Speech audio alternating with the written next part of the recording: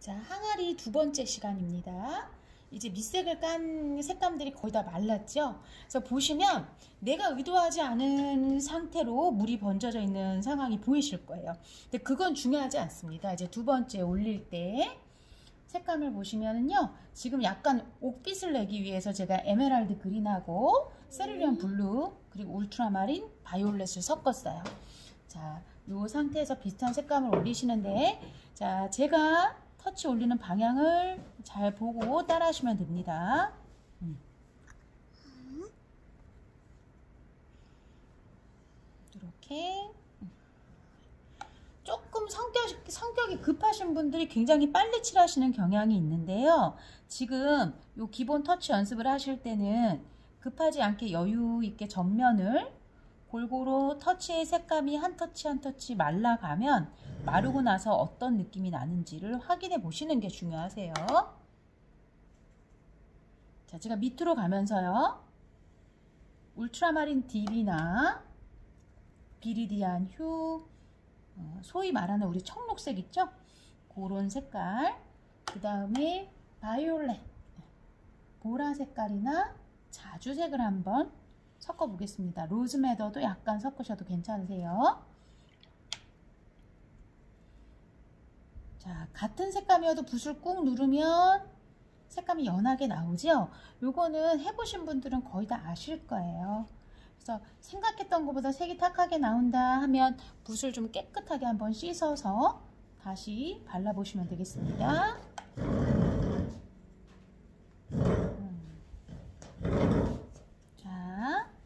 아래 반사광 부분까지 꽉꽉 메우셔도 되고요. 왜냐면 제가 지금 어, 아주 진하게 칠하지 않고 있기 때문에 반사광 부분까지 메우셔도 상관없으세요. 그런데 그렇게 하지 않으시고 이렇게 이 정도는 밝은 쪽은 물 번짐을 주셔도 상관이 없겠죠. 자, 이쪽에 반사광 부분에 비어있는 부분에 이제 한번 제가 터치를 겹쳐 볼게요. 요거는 어, 우리 학생들이 풍경화 기본을 배울 때도 아주 도움이 되는 터치 방법이죠. 자 밑에 첫 번째 아, 했던 터치가 마르면 그 위에 비슷한 방향을 살짝 살짝 바꿔서 겹치는 방식으로 톤을 들어가시면 되겠습니다. 음. 자 그러면 지금 얼룩덜룩 이렇게 터치가 남아있는 모습이 보이실 거예요. 그 상태에서 나는 이 터치에 명확한 선이 싫다 하시는 분들은 이제 조금 더 연한 색을 올리셔서 중간에 이어지는 터치를 넣으셔도 무방하겠죠? 이렇게 넣어주시고요. 자, 저는 요 위에도 한번 색을 얹어 보겠습니다. 자, 우리 선생님들 계속 하면 할수록 더 올리고 싶은데 하면은 자꾸 탁해져야 하시는 분들이 있어요.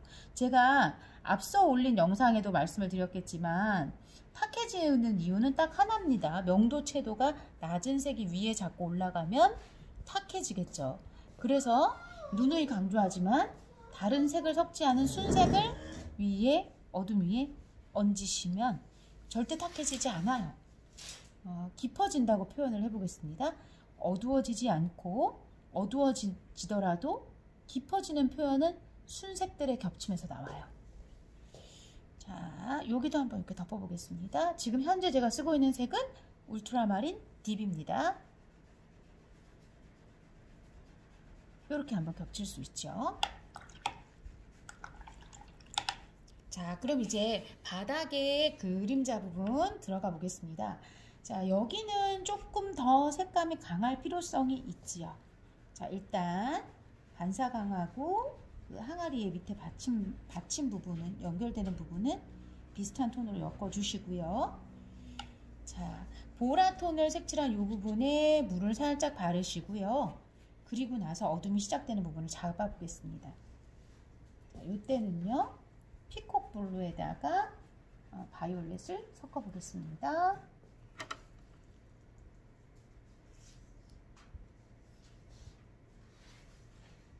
굉장히 진한 파랑이 나오죠. 음.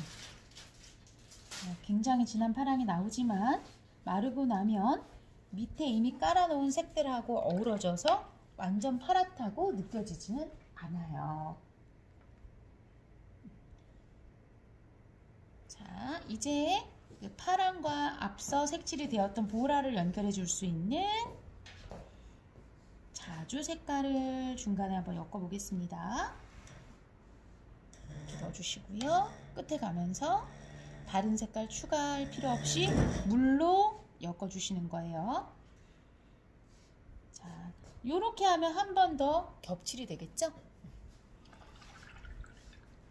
자, 여기 그 항아리의 무게감을 더해주기 위해서 이 부분을 더 들어가실 필요가 있어요.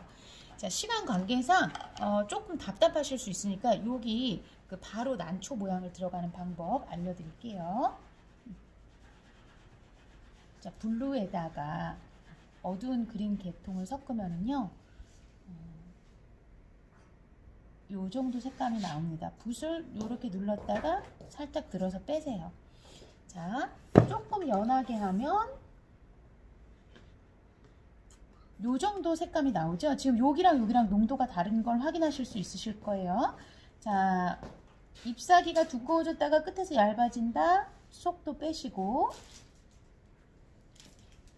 자, 이번에는 동양화에서 난을 치듯이 제가 가볍게 한번 쳐보겠습니다.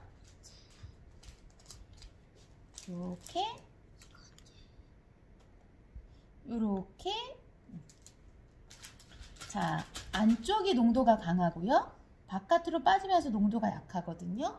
어, 그 특징을 활용을 하셔서 잡았다가 빼시고 잡았다가 빼시고. 요거는요 여러분들 드로잉 펜 드로잉이나 어반 스케치 하실 때 어, 펜이나 연필의 감략을 조절하시는 거랑 같은 거예요. 우리 서예 많이 하시는 분들 많은데 서예 그 글에다가 옆에 그림을 그리실 때 아마 이런 느낌 많이 넣으실 거예요. 자, 그때 중요한 건 붓을 누르는 힘의 강약이겠죠?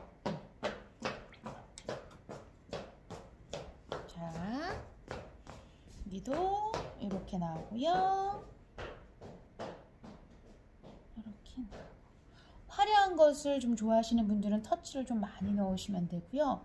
맑고 단아한 걸 좋아하시는 분들은 터치를 많이 넣지 마시고 심플하게 해서 끝내시면 되겠죠. 이렇게. 이렇게. 자, 조금 마르고 나면 여기 번진 부분을 정리해 주시면 되겠습니다. 자, 입구의 윗부분도 너무 비어있는 부분들은 은은한 색으로 채워주시면 되겠어요. 자, 어느 정도 마르고 나면은요. 지금 이 부분 아직 정리가 덜 됐죠? 그리고 여기 주둥이 입구 튀어나온 부분 정리가 덜 됐죠? 요런 데는 세피를 가지고 음, 조금 더, 어, 좀 더 탄탄하게 이렇게 잡아주시면 입구 부분이 훨씬 더 단단하게 정돈이 되겠죠. 이렇게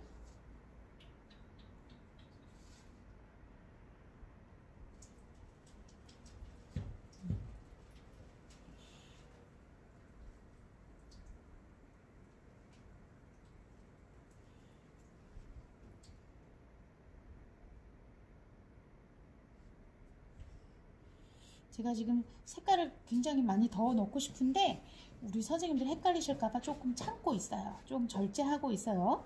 색을 많이 쓰지 않아도 그림은 당연히 완성이 되겠죠. 기본으로 들어가는 톤만 가지고도 아름다운 빛깔과 질감, 양감을 더할 수 있습니다. 이렇게 음. 자, 이 상태에서 제가 초벌할 때 약간 노랑하고 분홍을 넣는데요. 지금은 넣지 말아 보겠습니다. 넣지 않고 그냥 이대로 진행을 위에 색깔을 얹는 정도로 마무리를 해보겠습니다.